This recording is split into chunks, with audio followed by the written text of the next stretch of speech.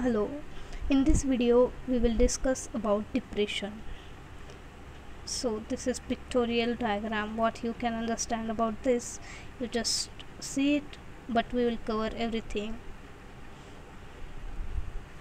So in this video we will going to see that what is depression symptoms of depression what are the causes of depression what are the tests used for depression complications associated with depression types of depression and treatment of depression.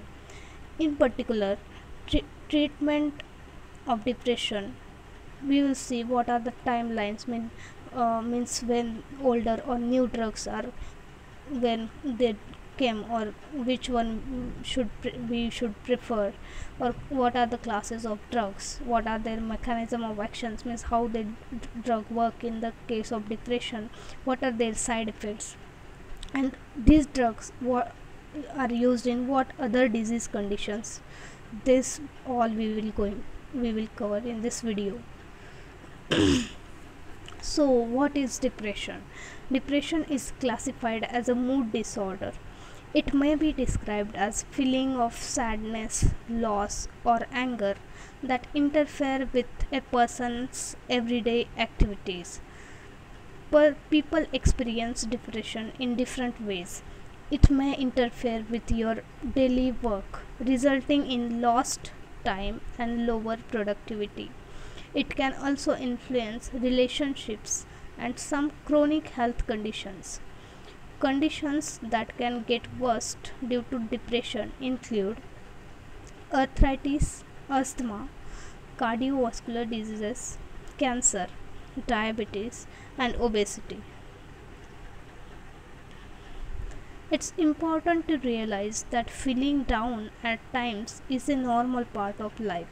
Sad and upsetting events happen to everyone. But if you are feeling down or hopeless on a regular basis, you could be dealing with depression. Depression is considered a serious medical condition that can get worse without proper treatment. Those who seek treatment often see improvements in symptoms in just a few weeks. Depression can be more than a constant state of sadness or feeling blue. Major depression can cause a variety of symptoms. Some affect your mood and others affect your body. Symptoms may also be ongoing or come and go. The symptoms of depression can be experienced differently among men, women, and children. Symptoms related to their mainly these symptoms are related to their mood, emotional well being, behavior, sexual interest, cognitive abilities, sleep patterns, and physical well being. So, now we will compare what these symptoms will be observed in men, women, and children. Suppose mood. We will see anger, aggressiveness, irritability, anxiousness, and restlessness in men, whereas only irritability can be seen in women. Also, irritability, anger, mood swings, and crying is seen in children next symptom of depression is about emotional well-being.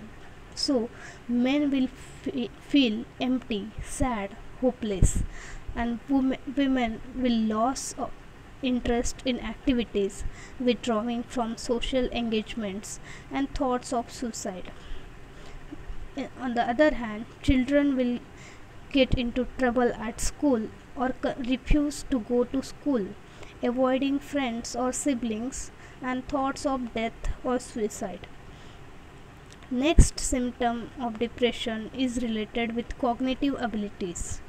In man, we will see that inability to concentrate, difficulty in completing tasks, delayed responses during conversations. In women, we will see difficulty sleeping through the night, waking early, and sleeping too much. In children, we will see difficulty sleeping or sleeping too much. Next symptom of depression is related with sleep patterns. In men, we will see insomnia, restlessness, restless sleep, excessive sleepiness or not sleeping through the night okay that we will we have already covered in women and children what they mainly sleep too much or sleep very uh, less or difficulty they will see in sleeping. Next symptom about depression is physical well-being. So men in men we will observe fatigue pains headache and digestive problems. In women's there is decreased energy greater fatigue and changes in appetite weight changes aches or pain headache and increased cramps. And in children there will be loss of energy digestive problems changes in appetite weight loss or gain.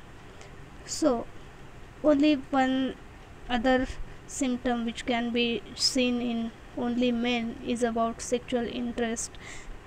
They that they there will be reduced sexual desire or lack of sexual performance.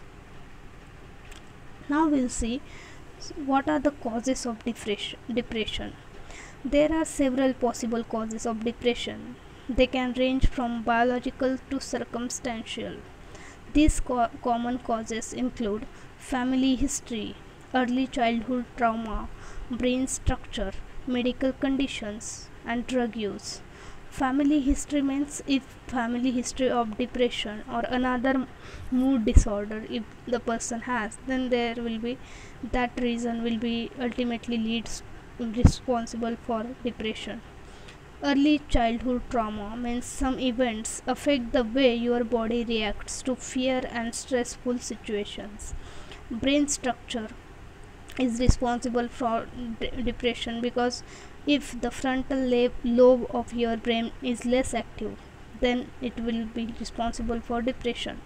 Medical condi- conditions such as chronic illness insomnia chronic pain or attention deficit hyperactivity disorder are responsible for depression.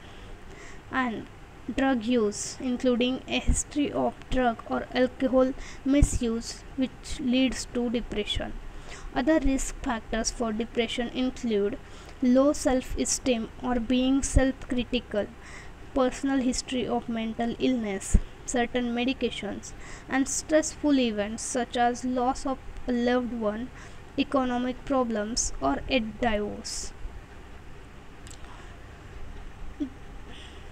Depression test There is not a single test to diagnose depression, but your healthcare provider can make a diagnosis based on your symptoms and psychological evaluation.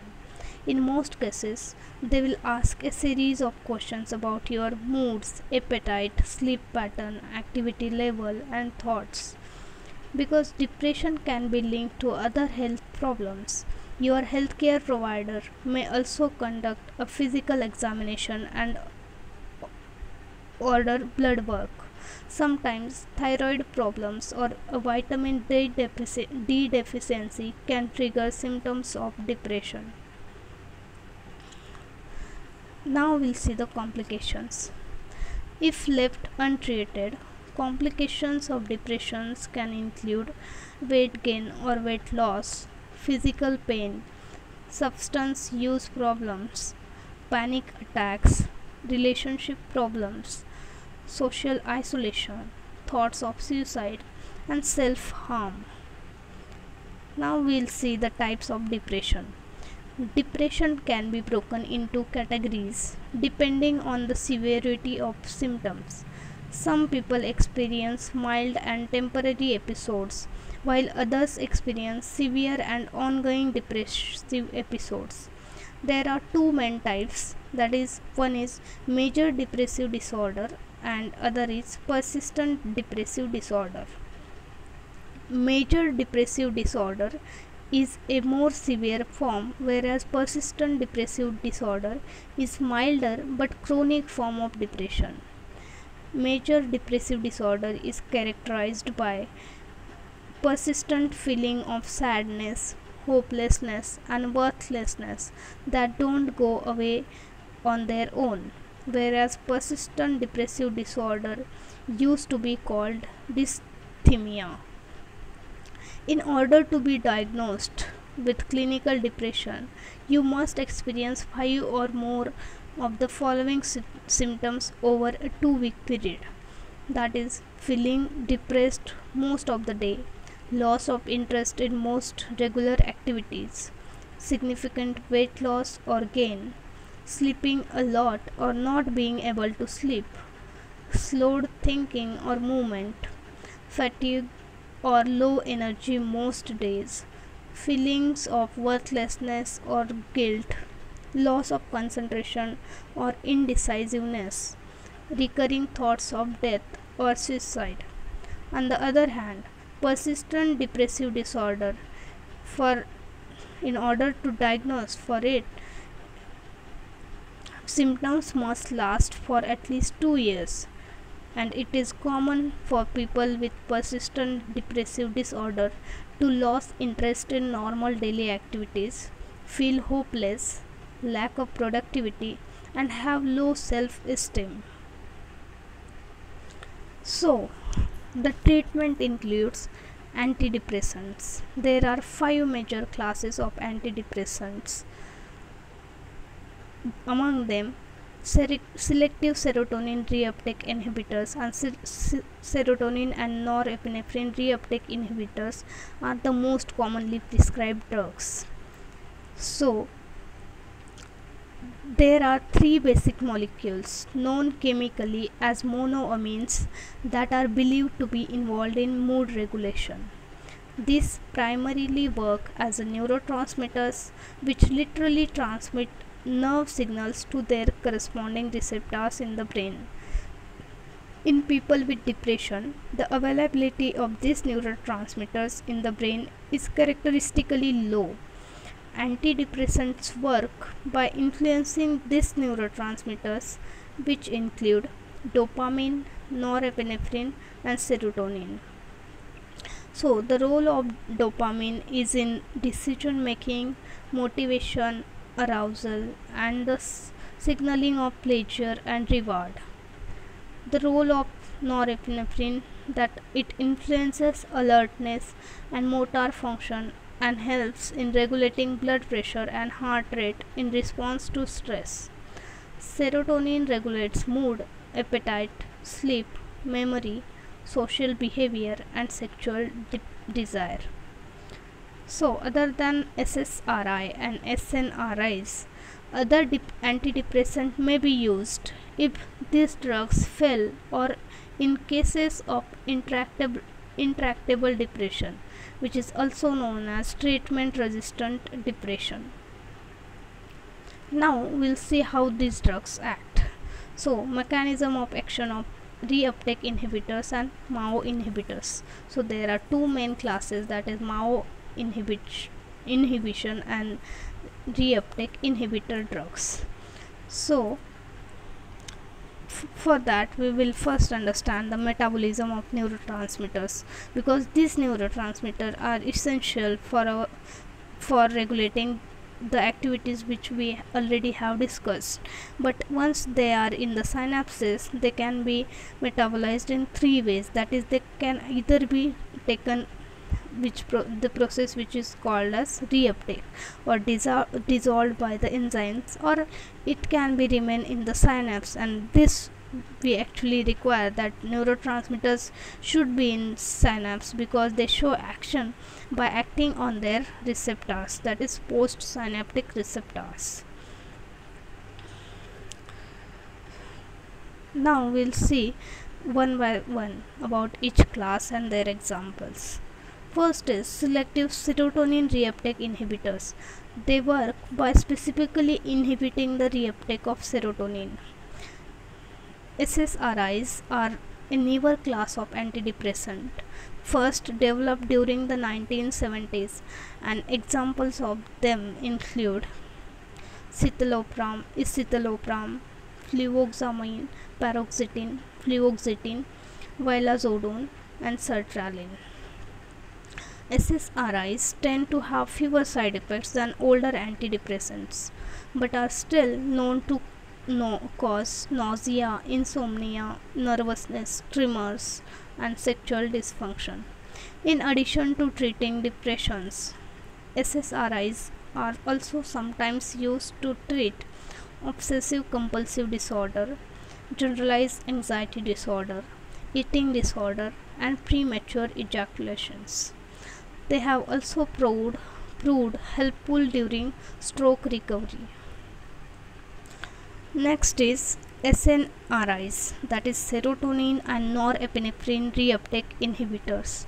They inhibit the reuptake of both norepinephrine and serotonin because increasing norepinephrine levels in tandem to serotonin levels can be particularly useful for pe- for people with psychomotor retardation that is the people which slows the physical movement and thoughts. The first SNRI was first FDA approved in Decem- December 1993.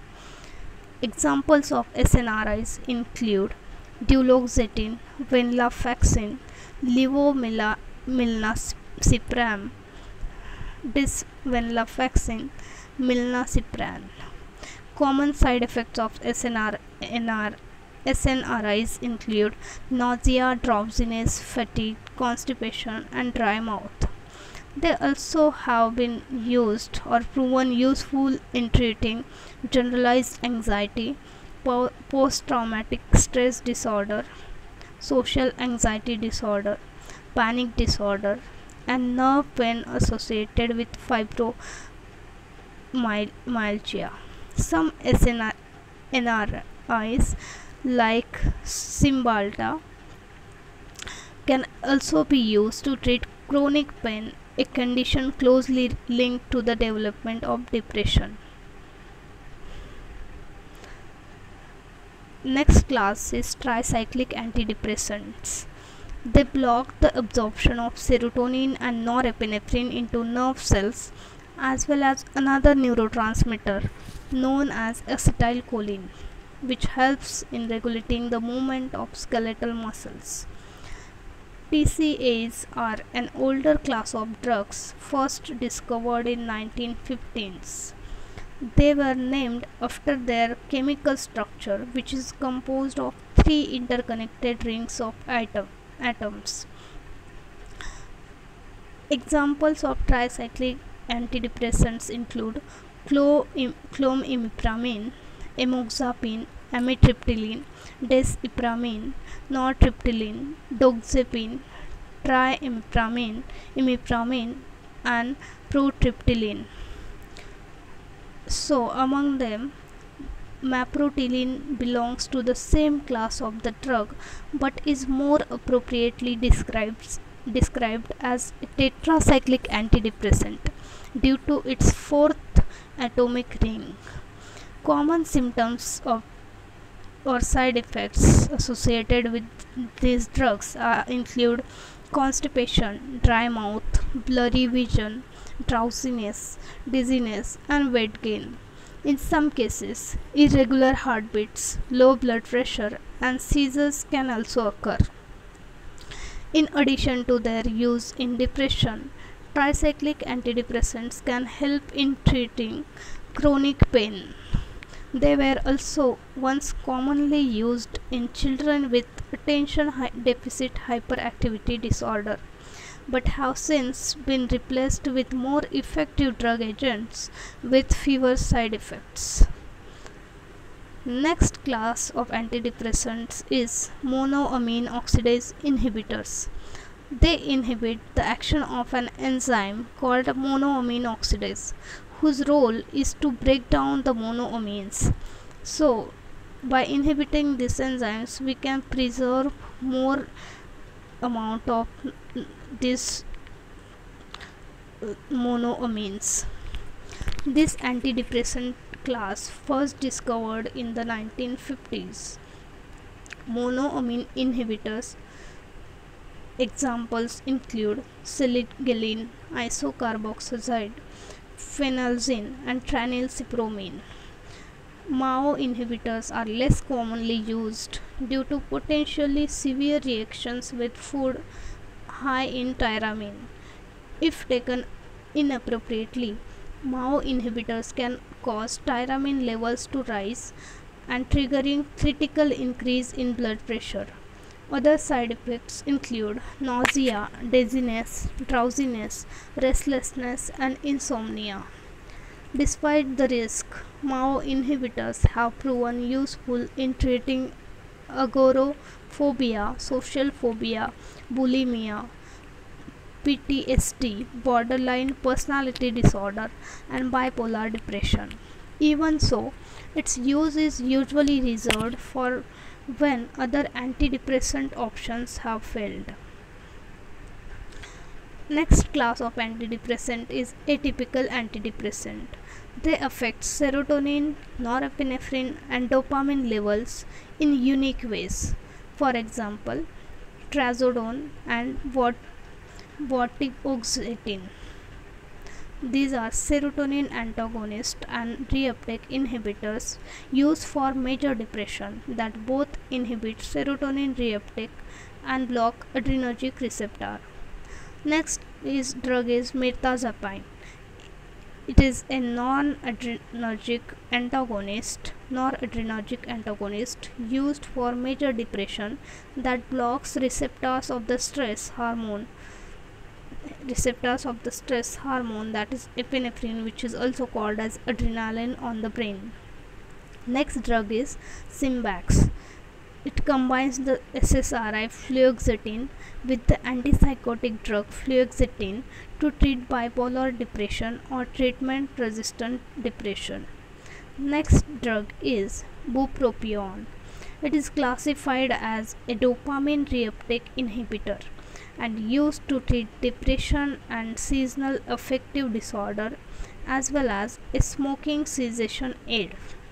The side effects can vary by drug type but may include dizziness, dry mouth, insomnia, nausea, vomiting, constipation, blurry vision, weight gain, and sexual dysfunction. So, we have covered this. I have enlisted or described in a very short way that is there when they have been discovered their mechanism of action side effects and additional use of them. These are the five classes of antidepressants that is tricyclic antidepressants discovered very early in the 1950s in parallelly 19 in 1950s only. Mao inhibitors were developed then, in 1970, selective serotonin reuptake inhibitors were developed. In 1993, SNRIs were developed and atypical antidepressants were developed very lately because of the side effects associated with earlier drugs. So, next is choosing the right antidepressant. There are several several factors that go into choosing the right antidepressant so among them chief is or main factor is tolerability.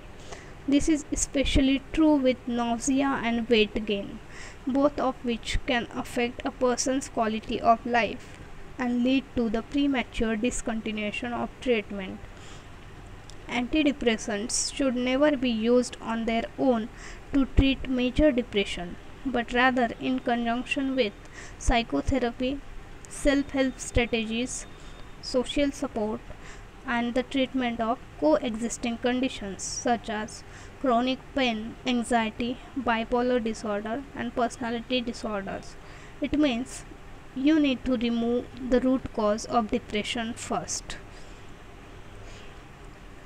Risk and considerations. Antidepressants are sometimes used in combination with other drugs to treat a variety of conditions. In some cases, the combined use of drugs that both exert serotonergic action can lead to serotonin syndrome. This is the toxic accumulation of serotonin that can trigger a cascade of potentially dangerous physical and psychiatric symptoms. Antidepressants should only be used as prescribed and may taken up to up to 8 weeks before the benefits are fully felt. It is important never to stop, interrupt, decrease or increase the doses without first speaking with your doctor. Stopping abrupt, abruptly can lead to disruptive and often debilitating withdrawal symptoms, including nausea, vomiting, tremors, nightmares, dizziness, depression, and electrical shock sensations. This can be avoided by gradually tapering the dose, preferably under the direction of a doctor. It means you need to gradually reduce the dose, but only in the under observation of your psychiatrist. Thank you. And i hope nobody should get depression in their lifetimes because i know that everybody gets depression in their entire